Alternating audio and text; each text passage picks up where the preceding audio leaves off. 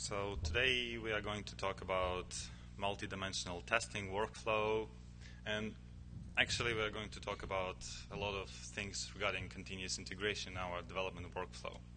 So let me introduce ourselves. My name is Yuri.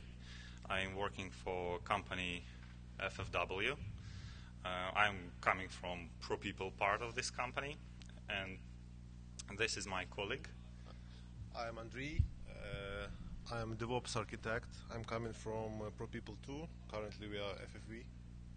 Yes, and one of our responsibilities are managing development teams, and like we have a couple of teams that I'm leading, and some of challenges that we are working in uh, during execution of our projects we are going to cover, and I would like to show you how we have improved all our development workflow and how we have managed to do a lot of testing during our development before actually things get committed and pushed to repository and appearing on our staging environments and so forth. Okay. So first I would like to talk about some historical things like how usually development workflow happens.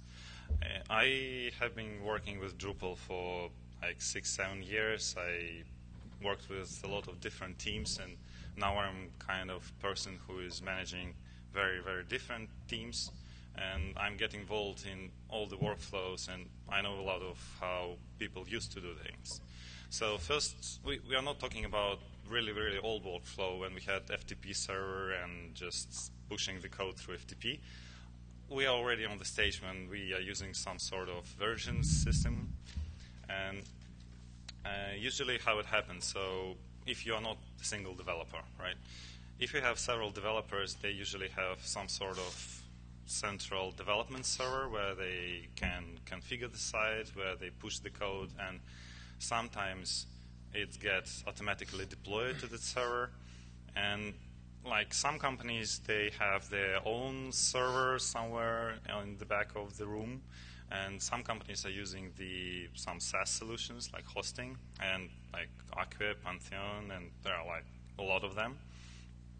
And this workflow has a lot of different elements. And for example, when we are working with the code, um, like one of scenarios is that we have some SVN or Git. We all commit to that master branch and we push the changes. Um, and we get them immediately deployed to our development environment. And this is where we have all our changes. We see the merges. If we have conflicts, we resolve them. And something like code review getting very tricky because like when we have a code, it's already in master, it's already deployed. So if we see something like bad, we need to roll back. And sometimes by the time we're doing code review, there are not only one commit happened, there were like multiple commits and they're like stacking one on other and maybe we already got some dependencies and sometimes this rollback process it's fairly complicated. So this is how it usually happens. There is another aspect of development of Drupal websites is configuration and because we need to deal with the database it's also very interesting because multiple people have single database that is on like development server and they do some configuration changes. And usually that happens on the development server. And again, if something gone wrong, we understand that something gone wrong like last week and we need to roll back or do the changes and database is already messed up. And if we need to roll back, we of course we have some backups, but if we roll back to some backup, we already lose some work that has been done afterwards. And another bad thing about doing so is that we have different configuration that we don't track.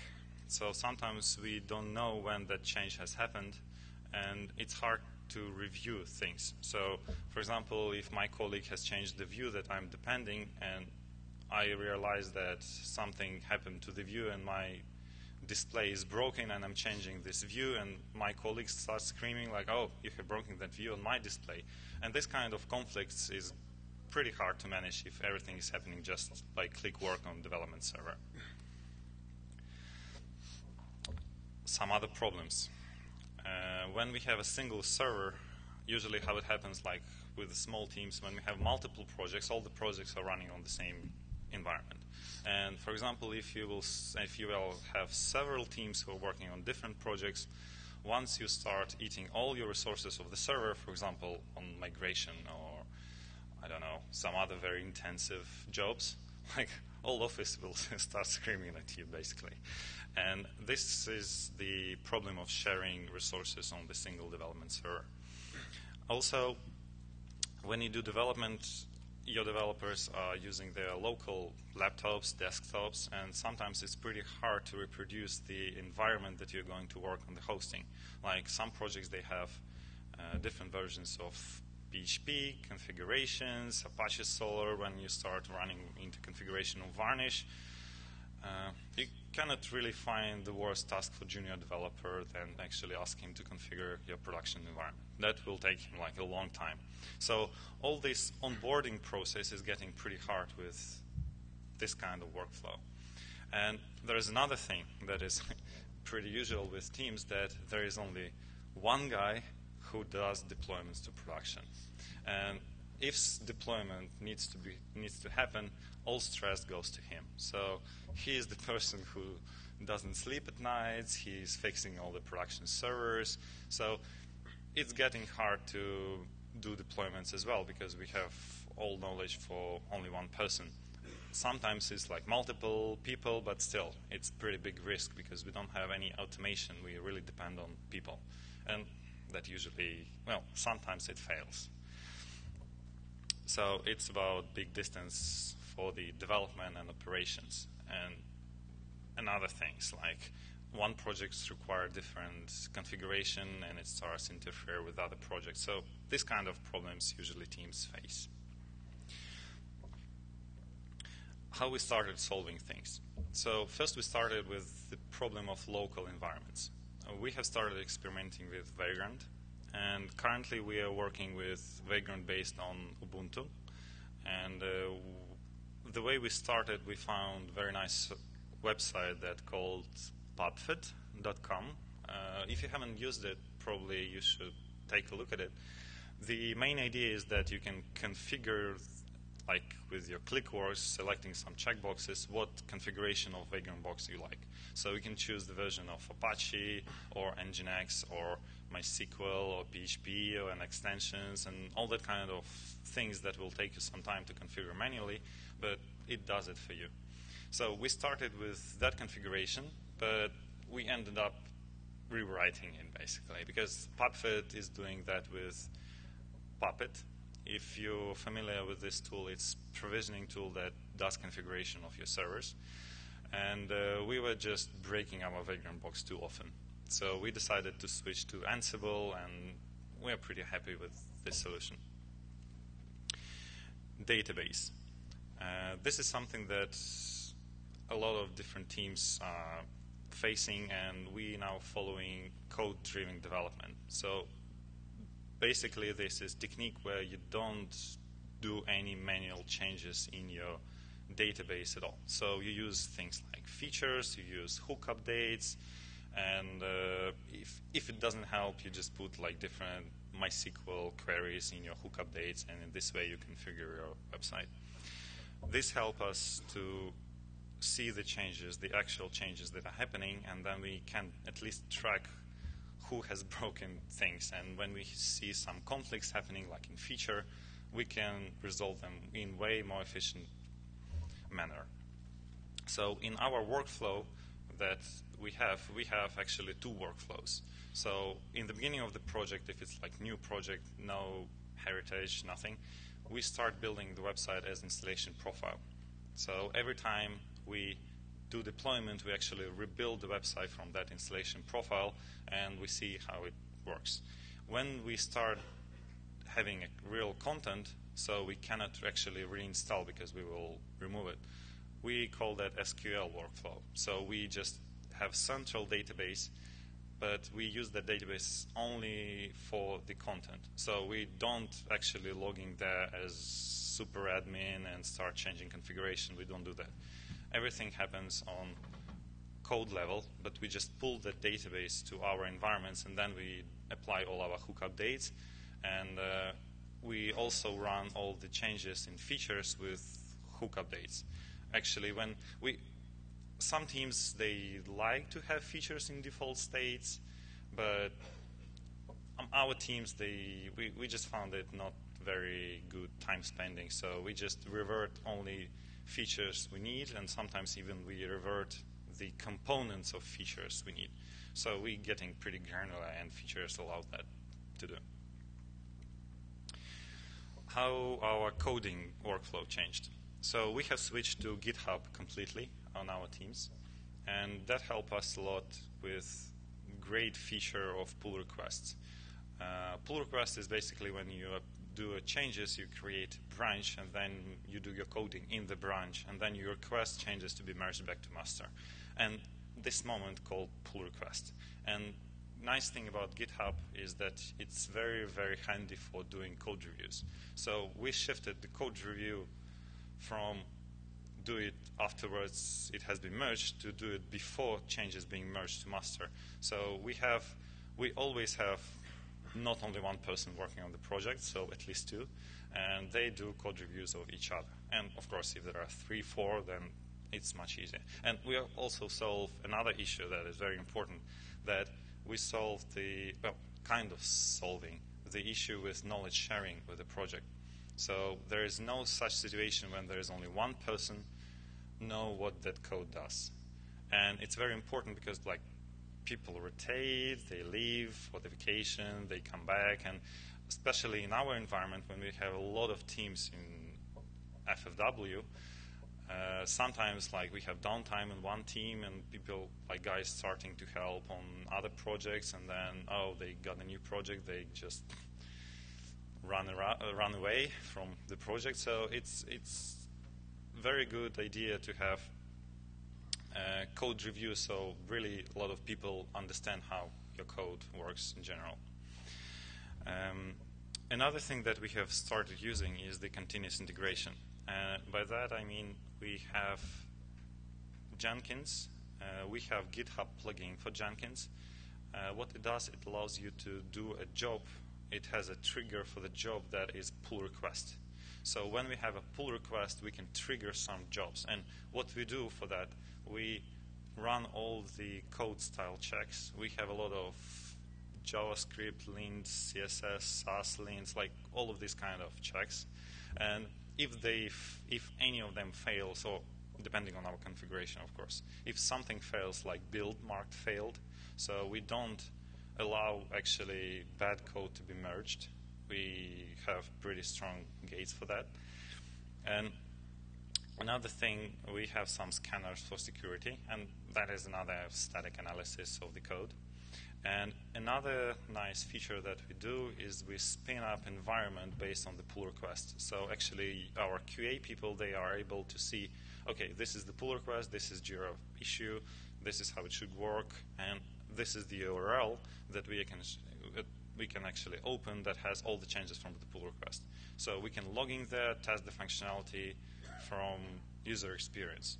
Because like developers, they are very optimistic, they're very fast, they really like their job. And for example, if ticket has three paragraphs, you usually end up developer reading first two and he start coding. And in this way, like if he's friend developer, because he's exactly the same guy, right? So he's checking first two paragraphs, and of course nobody reads the third. Oh.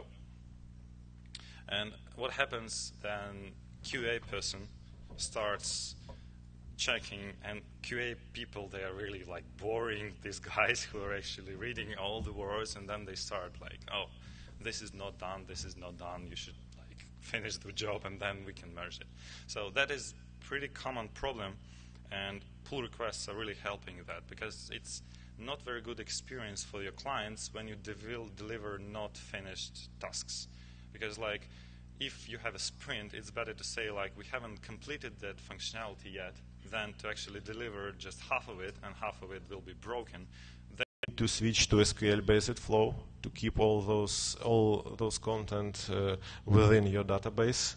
It can be done uh, by passing a variable to reinstall.yaml playbook called, name it uh, pp environment staging, and everything becomes uh, rebuilt from database uh, from the continuous integration server. And the third uh, thing is when you are trying to connect continuous integration environment to already uh, to the real project being developed not by maybe a team. This phase should have some rules like you should um, uh, you should make all those security checks, code style checks optional because uh, at the start you will get something like two or three thousand errors that is impossible to fix in one pull request. Uh, we call it lazy fixing. Okay. And a few words about responsibility. Uh, responsibility being shifted from operational guys to development team itself because all those scripts, sniffers, reinstall.yaml, and tests being stored with uh, this uh, with the, the, project itself.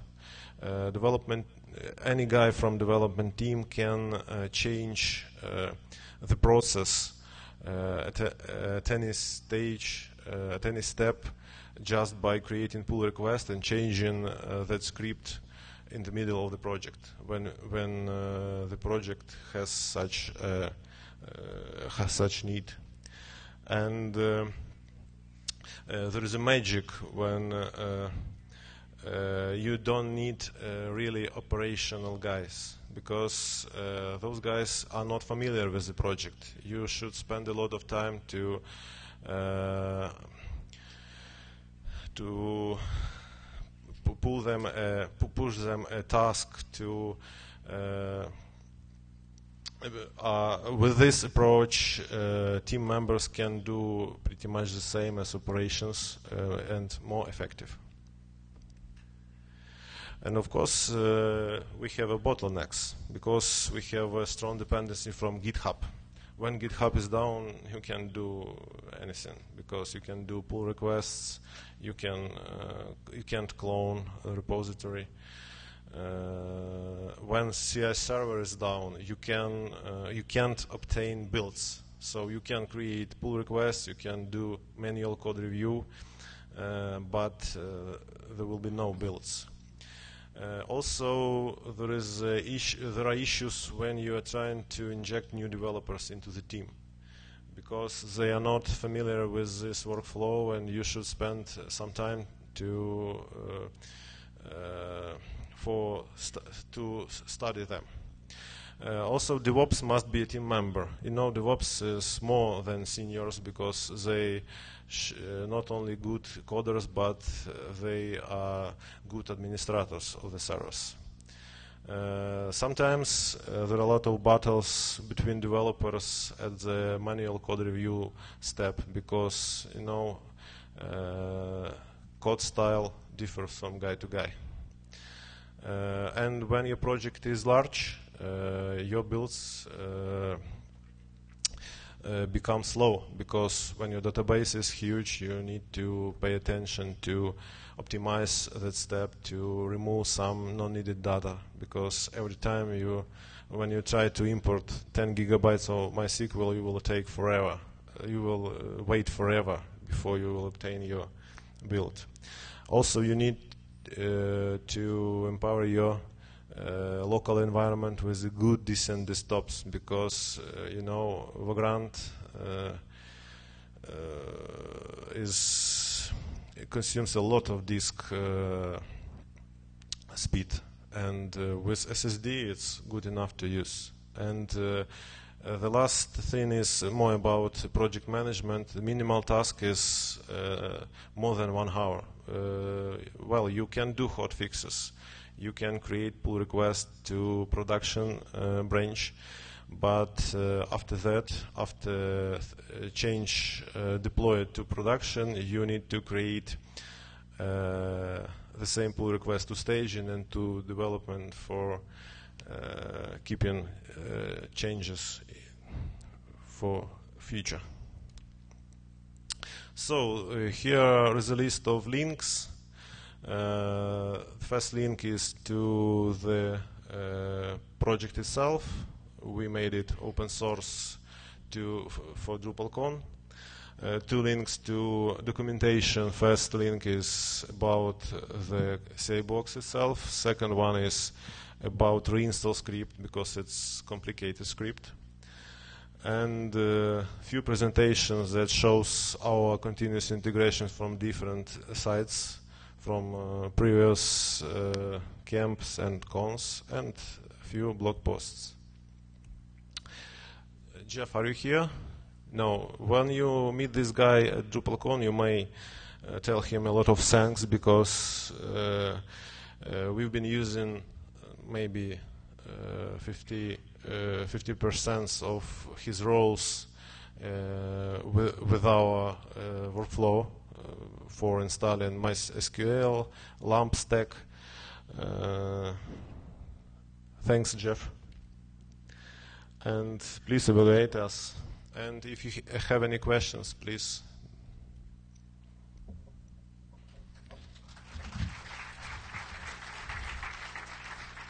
And you can use a microphone.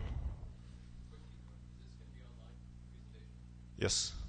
So the question was about presentation being online. Yes, we're going to post it, and this session is being recorded, so you will be able to see all the stuff multiple times.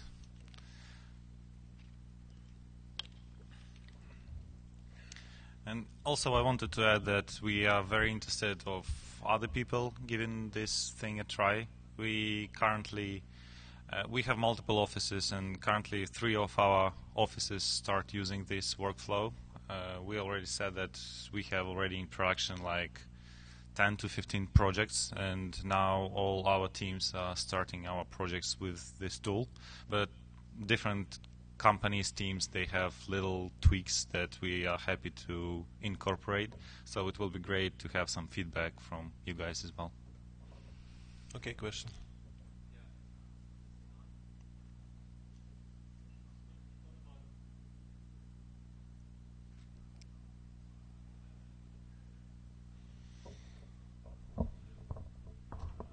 We will repeat the question.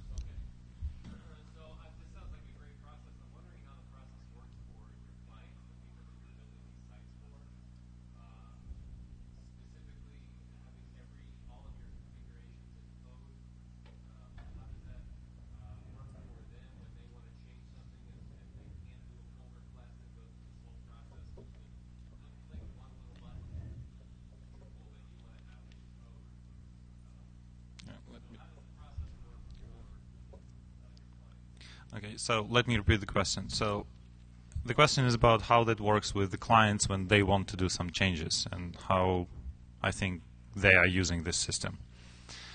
So first of all, we're really not encouraging them to go to coding level, and mostly we are dealing with clients that don't do much coding themselves. But anyhow, when we show them the system, um, it's if the developers are pretty good, and we usually deal with these guys, they can pick up things fairly easy after we did a couple of tries. But we really encourage them not to do any uh, commits directly to master branch, and we still work with pull requests. And we also have cases when we have multiple teams working on the same project, and we still keep the pull request workflow. Usually they don't touch the YAML files that can cause all the system to break. And when we do releases to like production environment, let, let's say to Acquia environment, we remove all the stuff before we actually push it to the environment. So we keep things clean and transparent, and uh, we didn't have any problems with that workflow.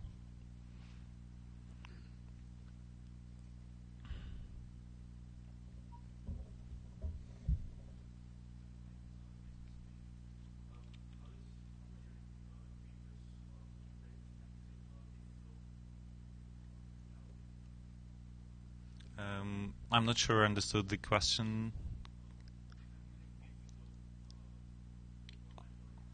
All right. So the question is, can we use Git flow workflow with Git?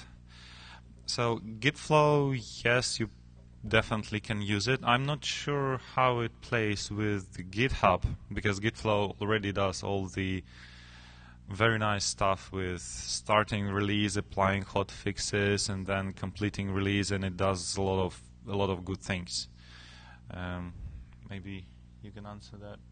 Mm-hmm. Uh, you can just extend Jenkins with uh, Git plugin and uh, maybe tied to some tags or I don't know because uh, it's a little bit different from uh, the GitHub itself because GitHub uses pull requests but GitFlow is another thing. So uh, we've been trying to use it with different kind of uh, systems and it's ready to be adopted to them. So just never used GitFlow. So for the GitFlow, if we have a branch that can be pushed to GitHub, we are happy like to do everything. And it's actually the business of our developers how they manage their branches and what they push to GitHub and what they don't.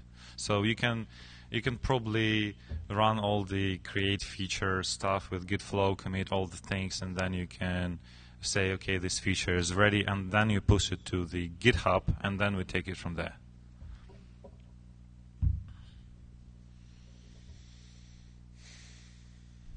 All right, then I hope you all get excited about the tool, and uh, I will. We will be very happy to discuss things further, or even give you a demo if you like. And uh, thank you very much for the attention.